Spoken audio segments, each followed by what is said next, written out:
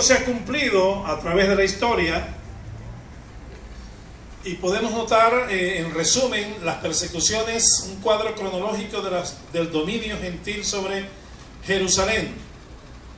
Retrocedo un poquitico. Aquí vemos desde el año 70 hasta el año 1967. Guerras y más guerras. Eh, por ejemplo, eh, aquí, cuando Israel fue proclamada como nación o como Estado de Israel, en el año 1948, los árabes lanzaron más, han tenido más de cinco guerras y una cantidad de intifadas.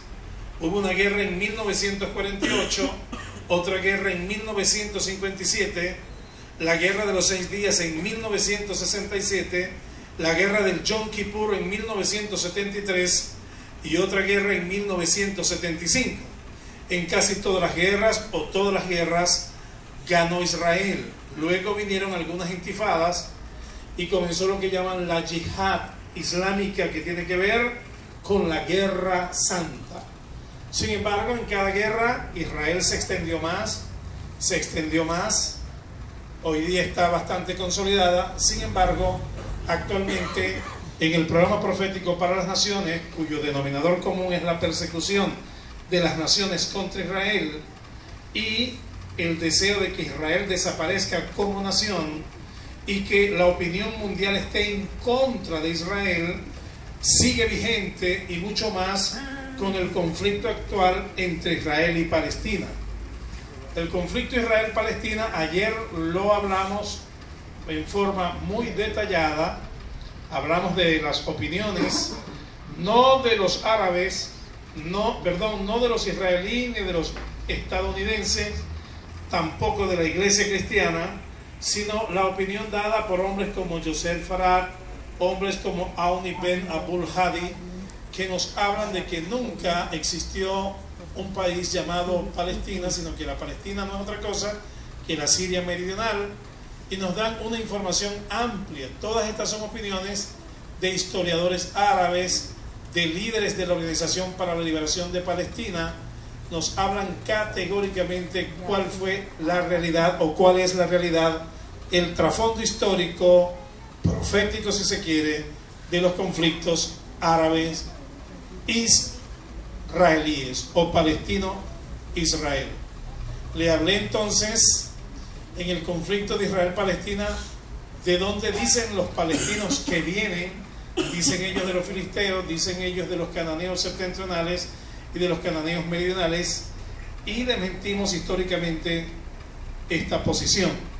Hablamos también ayer de que la iglesia evangélica no es pro-israelí, pro-norteamericana, anti-árabe, anti-Rusia, anti-China.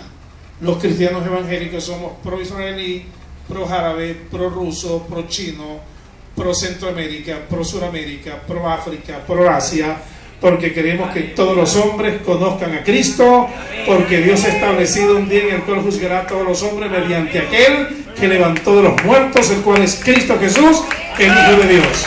Y a todos los hombres de todas las razas, de todas las épocas, de todos los tiempos, Dios manda que se arrepienta. Amén. Porque hay un solo nombre dado a los hombres y debajo del cielo no hay otro nombre en el cual podamos ser salvos que no sea el de Cristo Jesús. Denle otro aplauso al Rey de Reyes.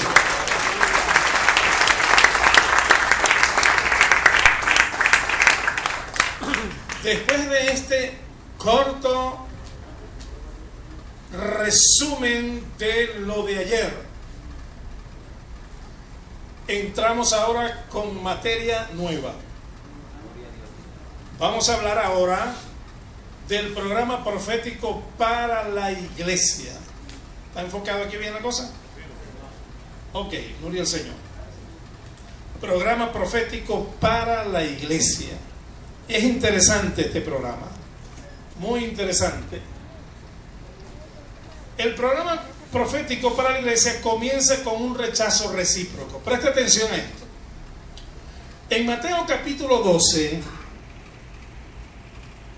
todos aquí sabemos Juan 1.12, ¿cierto? Juan 1.12 12 dice, los suyos vino y los suyos, No lo recibieron. más a los que le reciben, Le dio Potestad. le da el poder de ser hechos Hijo de Dios. hijos de Dios. Ahora bien, Cristo vino a los suyos, o sea, a Israel, a la descendencia física de Abraham. Y cuando se manifestó a Israel, Israel le rechaza.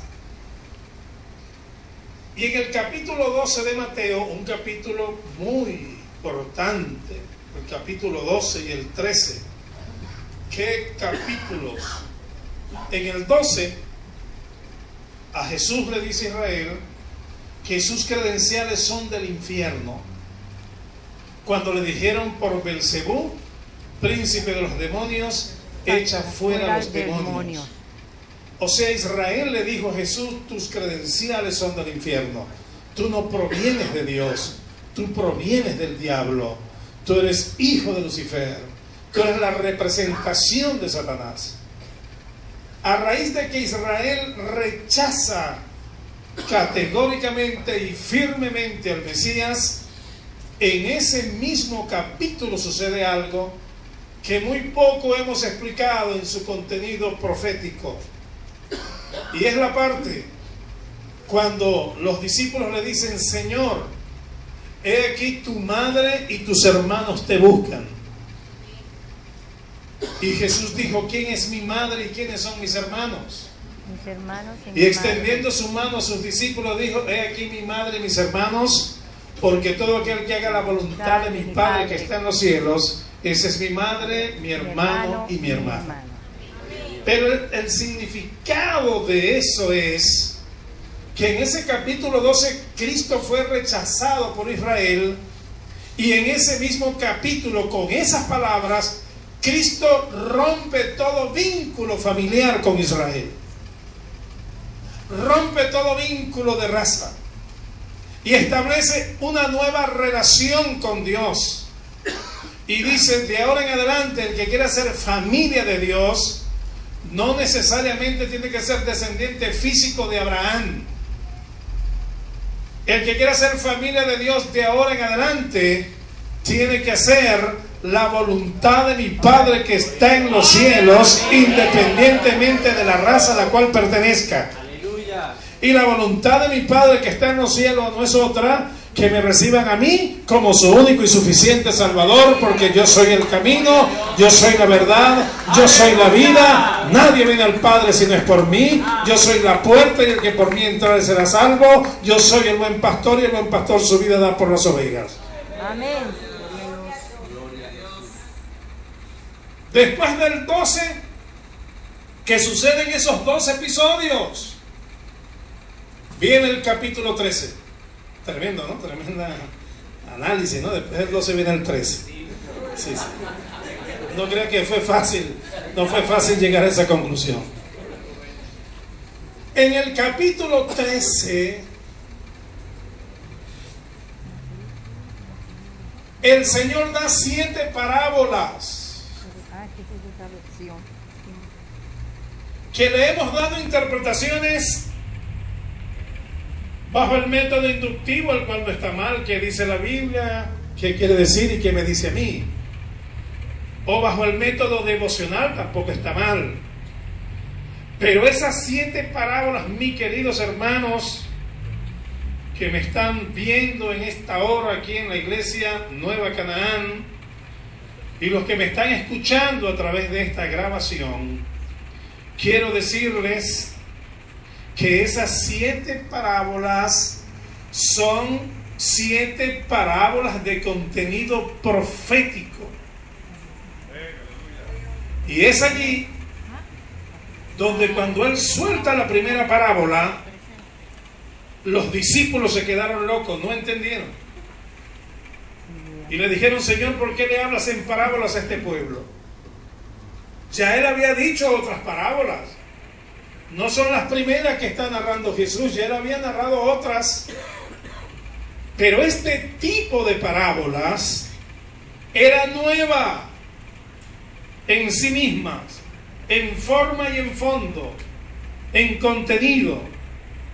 Apuntaba a otros elementos que hasta ese momento, valga la redundancia, no mm, eh, los discípulos no lo conocían absolutamente.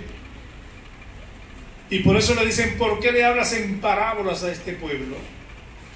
Y era un cumplimiento profético ese tipo de parábolas, narrado por Isaías.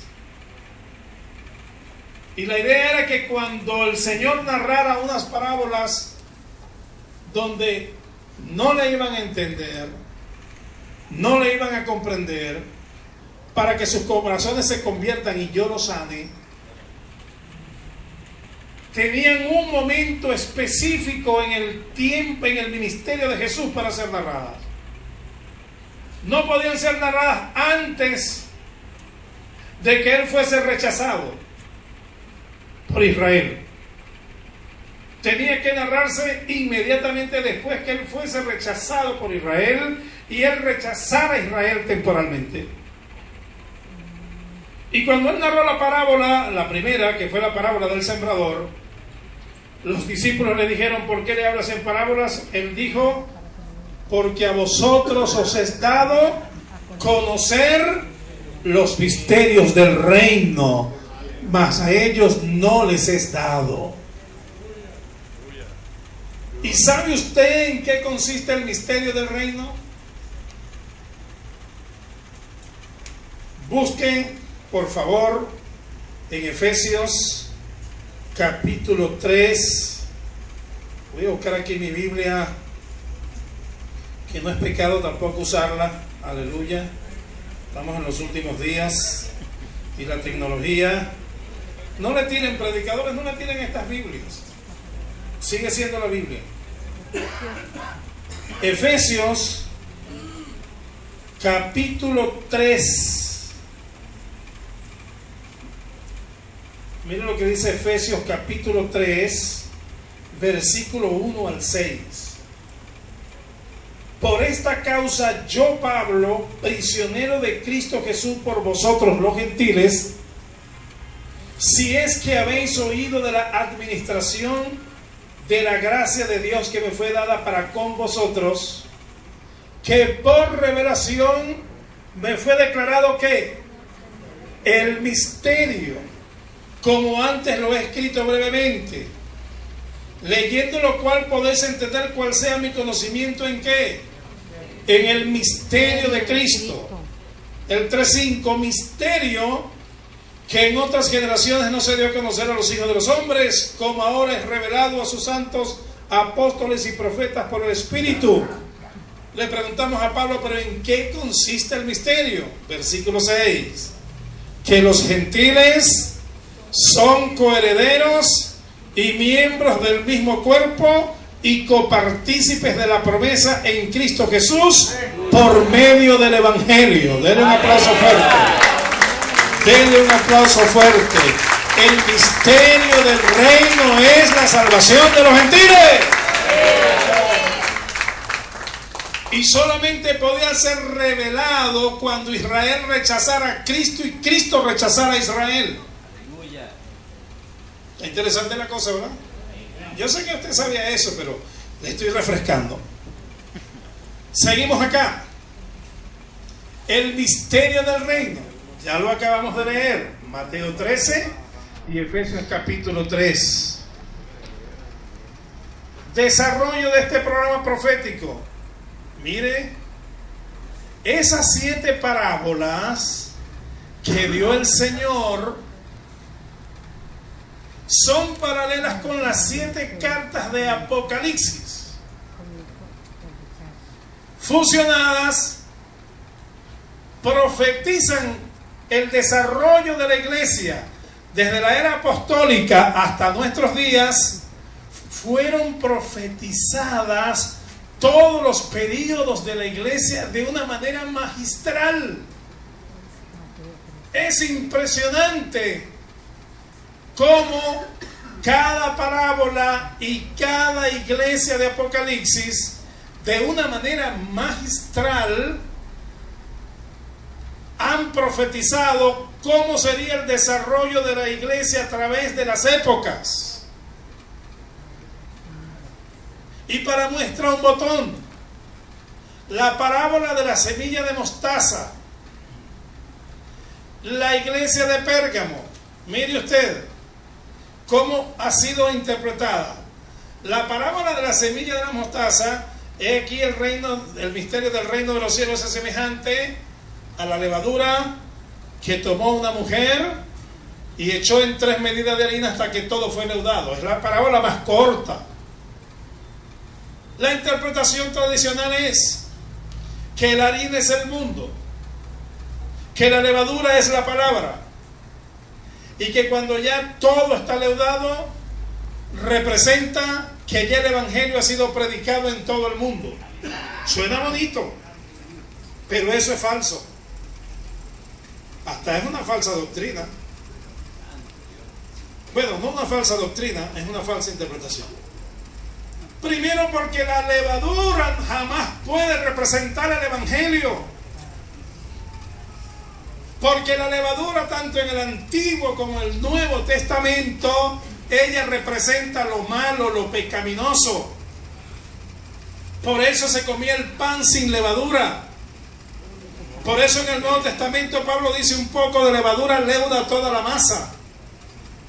Por eso cuando Jesús le dijo a los discípulos, guardad de la levadura de los fariseos, ellos entendieron que no le hablaba de la levadura del pan, sino de la doctrina de los fariseos.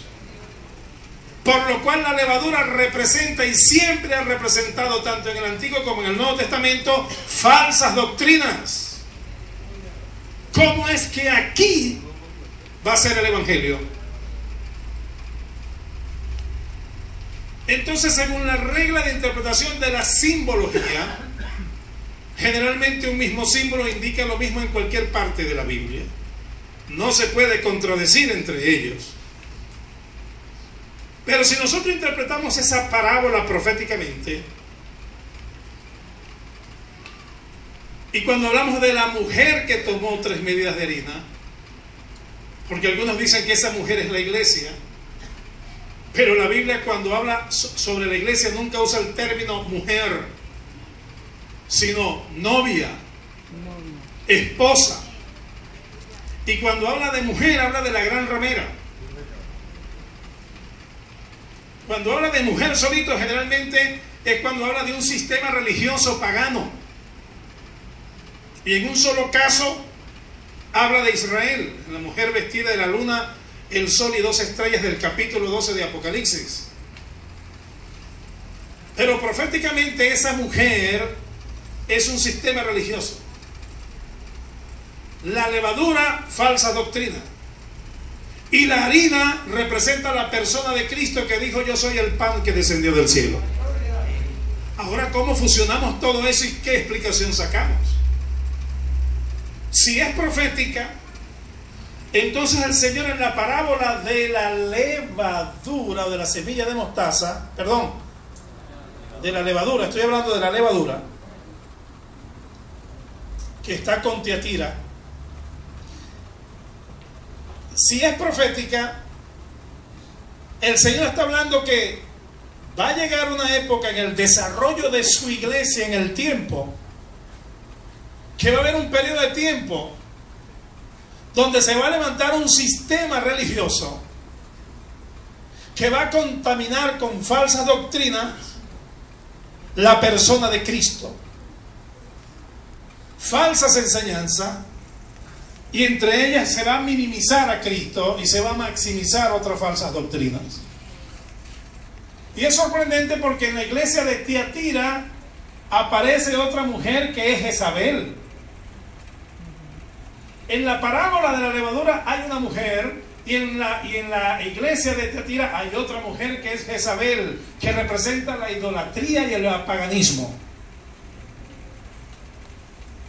Y será coincidencia que el cuarto periodo de la iglesia, que fue la iglesia medieval, que fue del año 476 a 1452, es donde nace la iglesia romana, donde comienza la adoración de imágenes, donde se maximiza la persona de María y se minimiza la persona de Cristo Jesús, donde comienza el eclesiasticismo agustiniano, que dice que es más importante lo que dice la iglesia que lo que dice la Biblia. que es más importante los acuerdos conciliares que lo que dice el Nuevo Testamento. ¿Coincidencia o es una profecía magistralmente dicha por nuestro Señor y por el Espíritu Santo? Para no hablar de todas, porque pasaríamos toda la noche acá, vamos a hacer referencia a esta última. La red y la Odisea. La parábola de la red, fíjense que es tan profética que cuando el Señor interpreta la red dice, el reino de los cielos es semejante a la red que lanzó un pescador y trajo qué? Todo tipo de peces, buenos y malos. ¿Y qué dice en la interpretación? Así será el fin del tiempo. Así será en los últimos días. Fíjese, la red me está hablando del fin de los tiempos. Entonces todas estas parábolas son proféticas. Y lo sorprendente es que es paralela con la, la Odisea porque en los últimos tiempos en la iglesia va a haber todo tipo de peces. Peces buenos y peces malos. Levanten la mano los peces buenos. Dígale por la gracia de Dios. A su nombre. Gloria al Señor. Ahora levanten la mano los peces malos. Aleluya. Puede bajarla. Pero fíjese usted. Cuidadito con el denominador común que pueden tener esos peces malos. Si la parábola de Relé es paralela con la Odisea, el denominador común de la Odisea es soy rico, me he enriquecido y no tengo necesidad de nada. O sea que en los últimos días muchos iban a predicar, su énfasis iba a ser el materialismo y el amor al dinero. ¿Será coincidencia que hoy día si hablas de riquezas, de pactos, de prosperidad?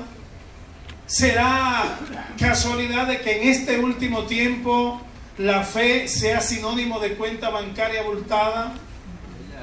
¿Será casualidad que en este tiempo se haya elaborado los que yo llamo los caminos fraudulentos que conducen a una falsa prosperidad, como la confesión positiva, devolución centuplicada, puntos de contacto, semilla de fe, doctrina de los pequeños dioses y pactos, que tiene su apoyo bíblico, su elemento empírico y el elemento práctico para sacarle dinero a la gente. Es casualidad que en este tiempo lo que se hable más es de dinero y de plata que de la salvación. No es casualidad. Es que estamos en los días de la Odisea. Soy rico, me he enriquecido y no tengo necesidad de nada.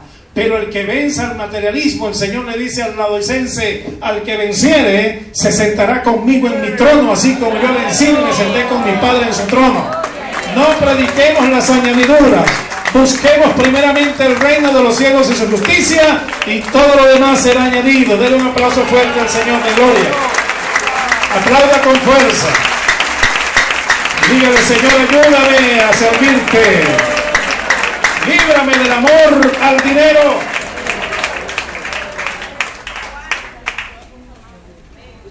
Dígame eso de la doctrina de los pequeños dioses.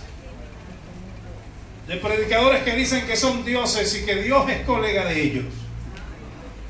Y que cuando le pidas a Dios nunca digas, hágase tu voluntad, no permita que esas palabras de maldición salgan por tus labios. No pidas la voluntad de Dios, Él tiene que darte, está obligado a darte porque tú eres Dios también y eres colega de Él. Y hay uno que es tan tremendo, que dice que tuvo una visión donde se le apareció Jesús dándole instrucción de cómo echar fuera demonios. Y de pronto él vio un demonio como un gorila. Y el demonio se fue encima de Jesús y comenzó a ahorcar a Jesús.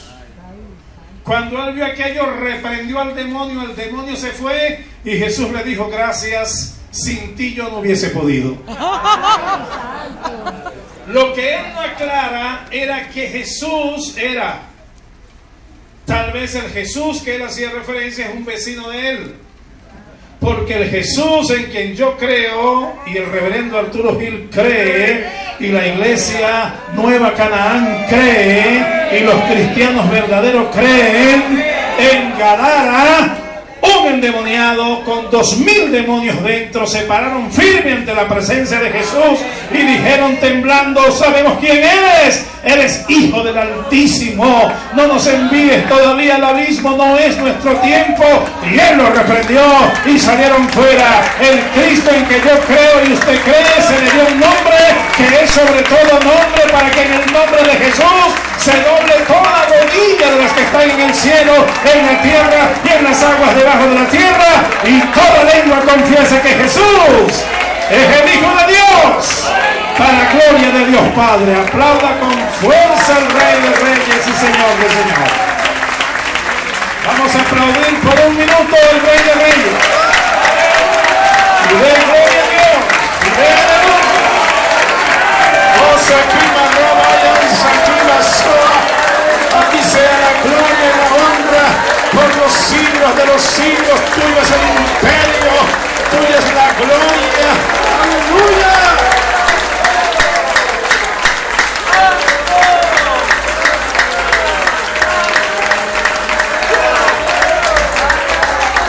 Él vive y se mueve en medio de este lugar. Aleluya. Gloria a Dios.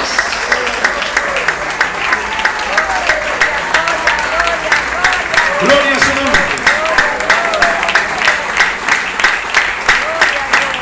Aleluya. Santo, santo, santo. La tierra está llena de tu gloria. Rey de reyes y Señor de señores. Gracias por tu presencia en esta noche. Gracias porque sentimos tu gloria. Oh Santo. Oh Rey la danza. Rey reyes y Señor de señores. Bendito eres por los siglos de los siglos. Gracias. A su nombre. ¿Cuántos creen que el Señor está aquí en esta noche? Él sea la gloria por los siglos de los siglos. Ahora hay algo más acá.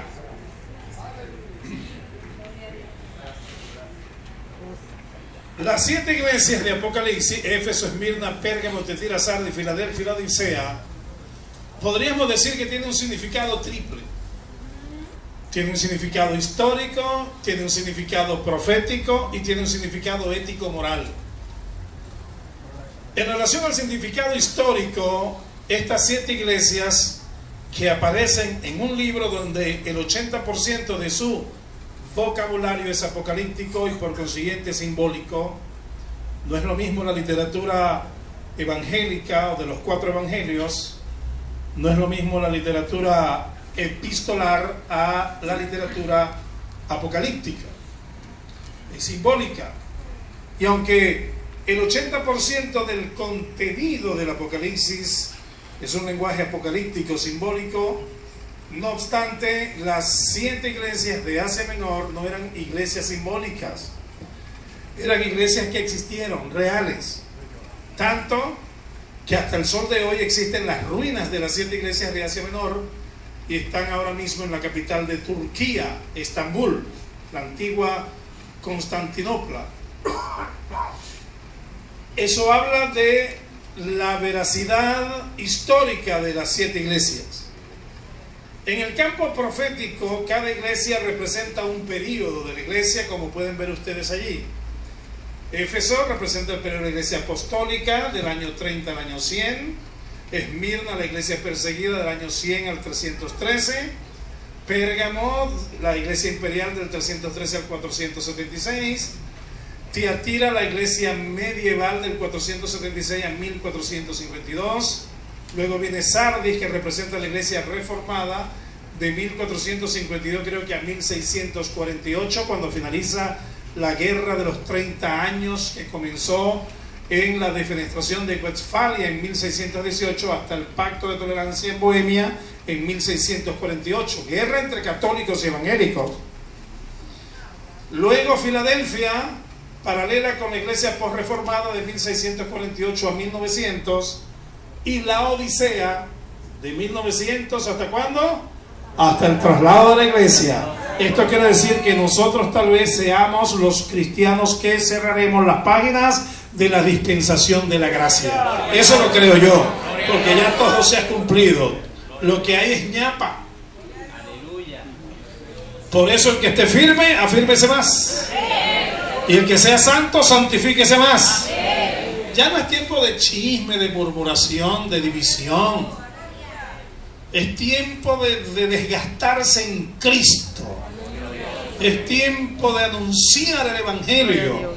Tú puedes tener cualquier profesión, pero entiende, mi hermano, que esa profesión que tú tienes sencillamente es para que te mantengas materialmente.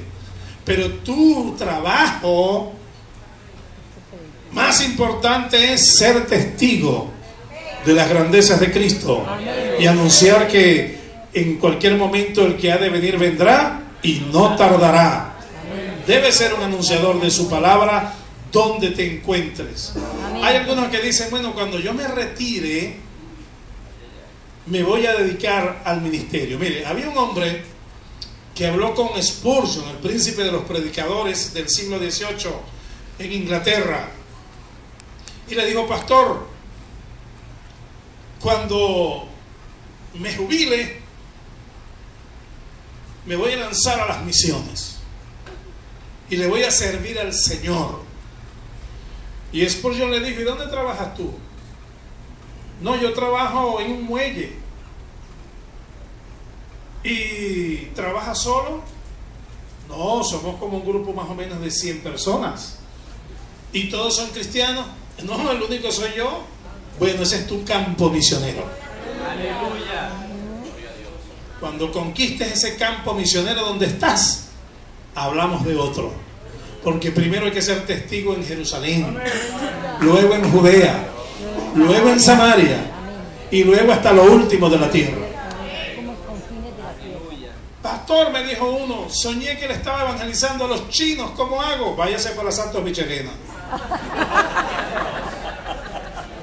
Que hay bastantes chinos ahí, gánese uno. Y después que se gane varios, lo lanzamos para la China. Denle un aplauso al Señor.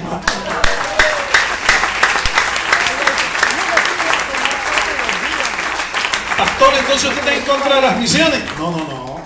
Apoyamos las misiones y que Dios siga enviando misioneros a todos los países del mundo. Muy bien. Ahora, estas siete iglesias también tienen un significado ético-moral. Y en cuanto al significado ético-moral, es que en cada iglesia local hay siete tipos de cristianos. Ay, amárrese. Póngase el cinturón de seguridad que lo que viene es candanga con burundanga. Tiene tiempo de irse. Porque lo que viene es fuerte. Puede irse. Ah, no, usted está resteado. ¿Cuántos dicen amén? Existe en cada iglesia local siete tipos de cristianos. En las iglesias hay efesios, hay esmirnenses, hay pergamitas, hay teatirenses, hay sartitas, hay filadelfos y hay laodicenses, por su gentilicio. Ahora, ¿cuál es el cristiano efesio? El cristiano efesio es el cristiano que ya no depende de la guía del Espíritu Santo, porque ya tiene mucha experiencia ha trabajado arduamente por amor de la obra. Tiene años en los caminos del Señor y domina todo al pelo. Ese, como tiene tanta experiencia, ya ni ora. Y es allí donde el Señor le dice, tengo contra ti una cosa que has dejado tu primer amor. Por lo cual arrepiéntete y vuelve al primer amor, porque si no vendré a ti y quitaré tu candelabro de tu lugar si no te hubieses arrepentido. ¿Y cuál es el primer amor? Sencillamente eso, como nosotros nos movíamos cuando éramos nuevos creyentes. Miren lo tremendo, que nosotros mismos nos condenamos sin darnos cuenta. A veces conseguimos un nuevo creyente que nos llega, uy hermano, aleluya, conseguí a alguien y le hablé de Jesucristo y recibió al Señor y llega contento. Y los más viejos dicen, no, él es así porque está en el primer amor. Y entonces, ¿y tú en qué amor estás? ¿Cuántos dicen amén? Resulta que si tú no estás en ese primer amor, estás liquidado. Porque el Señor dice, vendré a ti y quitaré tu candelabro de tu lugar si no te hubieses arrepentido. Por lo cual dejar el primer amor es ya no depender de la guía del Espíritu Santo. Nuevo creyente, orabas al levantarte, orabas al acostarte, orabas por los alimentos, ibas a tomar un vaso con agua, Señor bendice esto, ibas a tomar una decisión, te metías en oración, te metías en ayuno, Señor guíame, Señor muéstrame. Cuando ibas a predicar, Señor dame el mensaje, cuando ibas a cantar, Padre, me meto en oración, lléname. Pero cuando ya tienes la experiencia, ni oras, ni buscas su presencia, cuidado, es peligroso ese camino. Por eso, Efesio, vuelve a tu primer amor. Depende del Espíritu Santo y Dios estará contigo como poderoso gigante. El esmirnense. El esmirnense es el cristiano que a pesar de las pruebas, ese va espalante. No reniega de Dios. Es el cristiano que entiende la ley del proceso, como dice Maxwell. O la ley de la refinación, como digo yo en un libro que escribí sobre desarrollo integral del líder. Que comparo al cristiano con el petróleo. Hay petróleo dulce y petróleo ácido. El petróleo dulce, ambos tienen que pasar por la ley de la refinación. Pero el petróleo dulce es el que tiene poco azufre. Y el proceso es más sencillo para sacar los derivados de él. Pero el petróleo ácido es el que tiene mucho azufre. Y hay que refinarlo, requete, refinarlo, reprocesarlo para sacar algo de él. Y yo considero que los cristianos que son sencillos, lo que yo llamo los five power players, este es un término en béisbol. En béisbol, el five power player, el jugador de los cinco poderes, es el jugador que corre duro, que tiene buen brazo, que tiene un buen guante, que es un bateador de contacto y que es inteligente. Ese jugador son los que valen millones en el mercado. Y los gringos le llaman los five power player. Pero hay los cristianos five power player. Los cristianos que tienen doctrina. Los cristianos que tienen una vida devocional profunda. Los cristianos que practican el compañerismo. Los cristianos que son serviciales y los cristianos que están bien en la mayordomía. En esos cinco elementos, si tú desarrollas esas cinco características, eres un five power player del Señor. Y entonces eres petróleo dulce, donde Dios va a sacar de ti muchos derivados y te va a usar para su gloria y para su honra.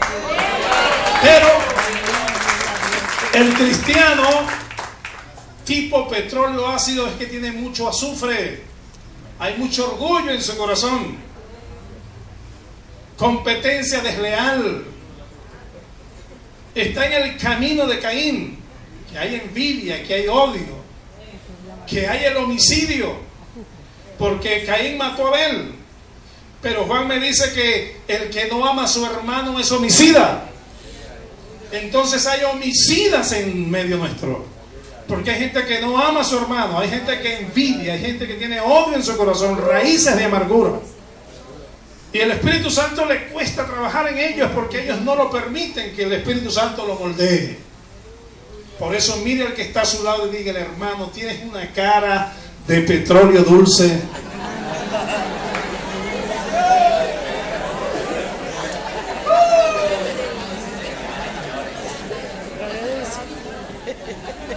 A su nombre. Ok. El esmirnense es el cristiano tipo petróleo dulce que pasa por la ley del proceso, por la ley de la refinación, vienen luchas, vienen enfermedades, crisis económica, es despreciado, es injuriado, es vejado, pero él no deja de congregarse y él dice como Job, Jehová da, Jehová quítase el nombre de Jehová bendito, he sido formado y preparado para todo, sé tener abundancia y padecer escasez, sé estar lleno y padecer hambre en cualquier sea mi situación, todo lo puedo en Cristo que me fortalece. Ese es el esmirnense. Den un aplauso fuerte al Señor por eso. Aleluya.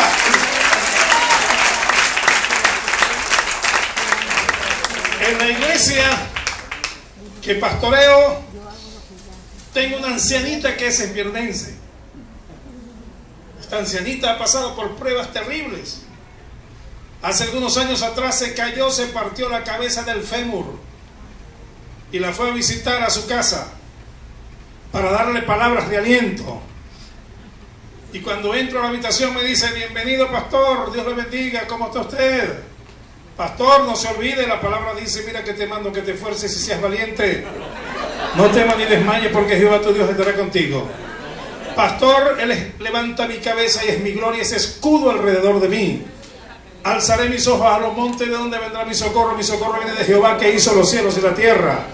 Pastor, ¿quién podrá separarme del amor de Dios? Tribulación, angustia, hambre, ni lo alto, ni lo profundo, ni potestades, ni principados, ni lo alto, ni lo presente, ni lo pasado, ni lo presente, ni lo porvenir podrán separarme del amor de Dios que es en Cristo Jesús. ¿Qué hice yo? Caí de rodillas y dije, ore por mí, que el del problema soy yo. Denle un aplauso fuerte. Despierdense la para Dios está conmigo como poderoso gigante. Jehová da y Jehová quítase el nombre de Jehová bendito. Él levanta mi cabeza y es mi gloria. Aleluya. No huye, avanza. Y nunca deja de congregarse porque Él sabe que nuestra salvación está más cerca que cuando creímos. Denle un aplauso al Rey de Reyes. El pergamita el pergamita es el cristiano mundano. Como dice un predicador, los cristianos murciélagos, dice él, ni son ave ni son ratón. Yo no uso eso, esa palabra es muy fea. Bueno, ya la dije, pero no es que es mía, es de él. O sea, son cristianos en la iglesia, pero mundanos en la calle. Son cristianos en la iglesia, pero ofenden y le pegan a la esposa. Aleluya. Son cristianos en la iglesia, pero piden prestado y no pagan. ¿Cuántos dicen amén? Son cristianos en la iglesia, pero son groseros. Aleluya. Retienen la doctrina de los nicolaitas, la cual yo aborrezco, dice el Espíritu Santo. Y la doctrina de los nicolaitas no era otra que enseñaba que a Dios no le interesa tu cuerpo, sino tu espíritu, por lo cual con tu cuerpo tú puedes adulterar, puedes fornicar, puedes embriagarte, puedes hacer lo que tú quieras, porque a Dios no le interesa tu cuerpo, sino tu espíritu. Pero esa es una falsa enseñanza, porque todo nuestro ser, espíritu, alma y cuerpo, sean guardados irreprensibles para la venida de nuestro Señor en gloria. Y el cuerpo es templo y morada del Espíritu de Dios. ¿Cuántos creen eso?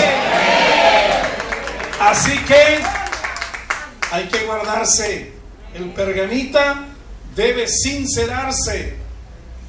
El pergamita lo persigue la inmadurez de portarse bien ante las autoridades eclesiásticas. Pero cuando está solo y nadie lo ve, hacen y deshacen. Es una inmadurez porque alguien dijo que Dios vio a una hormiga negra sobre una piedra negra en una noche bien negra. Entonces, ¿dónde te vas a esconder tú y dónde me voy a esconder yo? Si voy a los cielos, allí está Él. Si voy a lo profundo del abismo, he aquí me asirá su mano y me llevará su diestra. Si tomo las alas del alba y me, me remonto al extremo del mar, he allí, ahí está Jehová. Por lo cual, ¿de dónde me esconderé de su presencia? Mejor caminemos en santidad, sirviendo al ojo de Dios. para que cuando venga su venida tengamos el oportuno socorro y escapemos de la ira de Dios. Denle un aplauso al que vive por los siglos.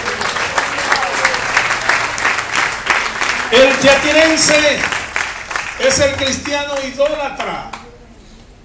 ¿Hay cristianos idólatras que adoran imágenes e ídolos? No. Pero adoran los bienes que poseen, los carros que tienen, las casas que Dios le ha dado. Hasta los hijos los adoran. Porque hay padres que dicen, no te juntes con tal. Mi mamá decía, no te juntes con el del frente, cuando yo era muchacho. Y yo decía dentro de mí, que le dé gracias a Dios al del frente, ¿verdad? Que no se junte conmigo. Nuestros viejos decían, muchacho no es gente. Y no es que ellos estaban diciendo que éramos animales, sino que el muchacho es muy disposicionero. ¿Ha escuchado ese término? De nuestros abuelos. Muy inventador. Así que cuando le manden una situación a un hijo suyo que está en primaria o en secundaria, no vaya usted y el papá y el abuelo y, el, y un fiscal. No llame al señor Moon de las Naciones Unidas y a Insulsa de la OEA. No llame a la presidenta del Tribunal Supremo de Justicia y se coman viva la pobre maestra y le digan, usted no conoce a mi hijo, yo sí lo conozco. Y la maestra calladita viene en su casa, pero aquí no lo conoce.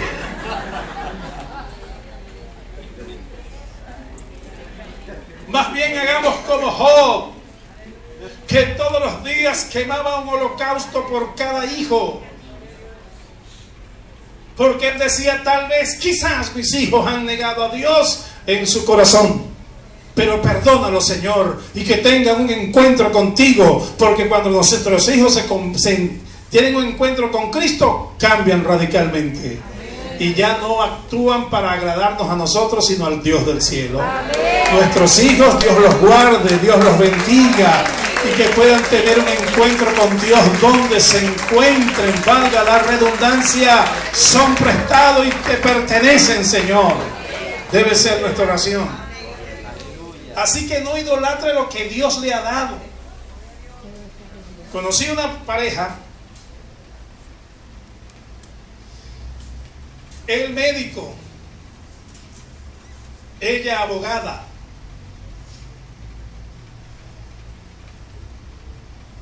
Y yo observaba, comencé a observar por el don de sospecha que el Espíritu nos da a los pastores, que es muy parecido al de discernimiento de espíritu, pero...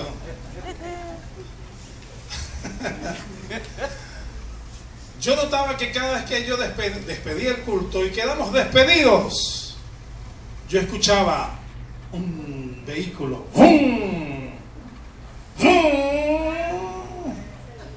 Arrancaban en quinta. Sorprendente.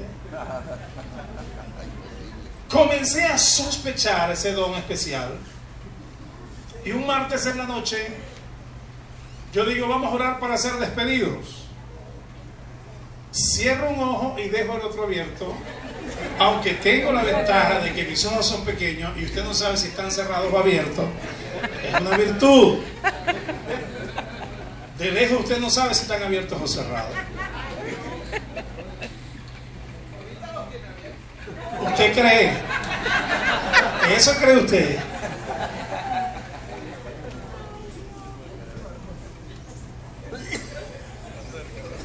Y en eso se levanta la pareja. Y digo yo, aprovechando que la pareja se puso en pie, le invito a que pasen adelante para que nos despiden en oración. Uf. Oraron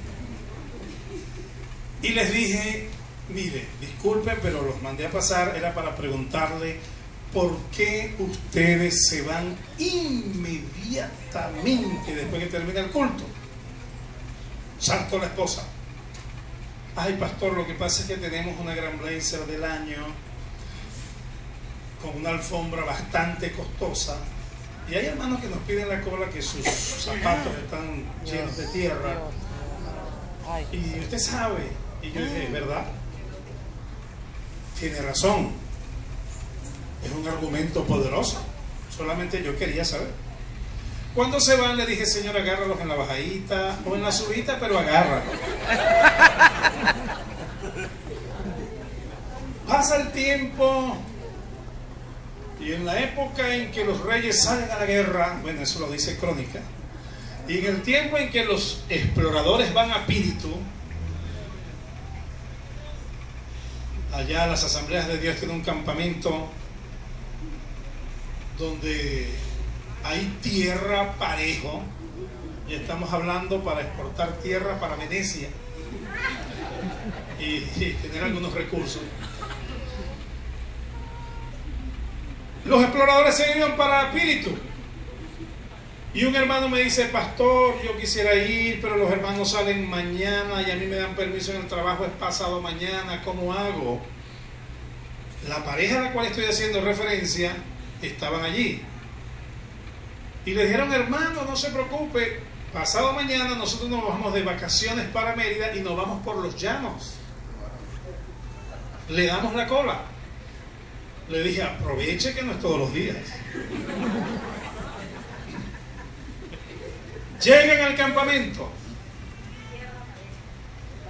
Se detienen un rato, nos brindan café, el doctor se toma un cafecito, llega alguien diciendo, mire, tenemos un problema con alguien, no sé si es hipotermia, no sé qué sé, qué es, alguien puede ayudarle, hay médico, hay bálsamo en Galá, como el profeta.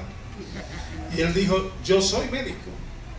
Lo atendió, luego vino otro caso, lo atendió, se quedaron para el almuerzo, otro caso, lo atendió y le dijo a la esposa, vamos a quedarnos aquí la semana. Y abrieron su carpa y fue el médico de ese campamento. El viernes, que era el regreso, la camioneta de ellos, una gran blazer verde oliva que cuando los rayos del sol caían sobre ella de manera perpendicular se transformaba como en la osa mayor, brillaba hermosamente. Tenía tierra hasta en la batería.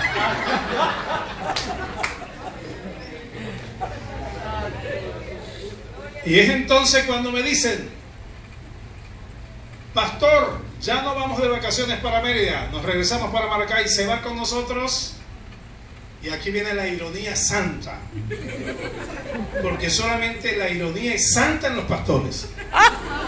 Y más nadie. Ay, sí. Y le digo yo, me encantaría, me encantaría irme con ustedes, pero tengo tierra en los zapatos. Y dice la esposa, pastor, no sea malo. Ya el Señor me sanó. Ahora ese carro en mi casa es para la gloria de Jehová. Amén. Aprende la lección. El sardita. ¿Quién es el cristiano sardita? Bueno, no hay otro nombre. Estaba buscando un eufemismo. Pero no hay. El, el, el sardita es el cristiano muerto espiritualmente. Tiene nombre de que vive, pero está muerto.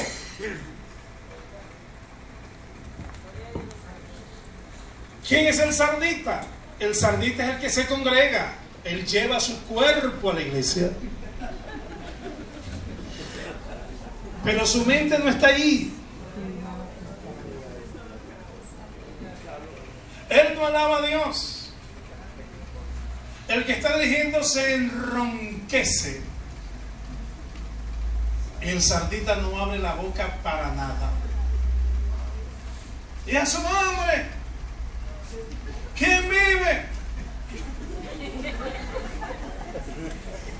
Y a su pueblo, como decía mi mamá. ¿Y el sardita? Y cuando comienza la predicación, el sardita quiere irse, volar. ¿Cuándo irá a terminar esta predicación? Si el sardita es un varón, De repente está, y es un mundial de fútbol, figúrense, eso es un desastre. Si es dama y, y está viendo una novela, y es martes, y el culto se extiende, y ese día la protagonista va a saber que es hija del hombre más rico y va a heredar todo. Y va a aparecer el hijo que le robaron.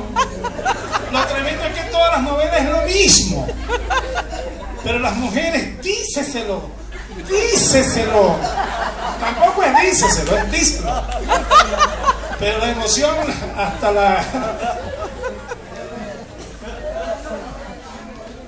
Ella sabe que, es hija del hombre más rico y después el que se salva es el protagonista y entonces los cultos que se alargan los atormenta. Y el domingo, qué terrible. Porque el sardita después que finaliza el domingo, si él es sardita, la familia tiene el síndrome. Y cuando llegan a la casa en el almuerzo, ay, ay, ay, el sardita te come pastor en salsa, cruzado de pastor, porque ponen al pastor, la pastora y los hijos. Y hay sarditas que están a dieta y comen pastor a la plancha, pero se lo comen. ¡Bueno!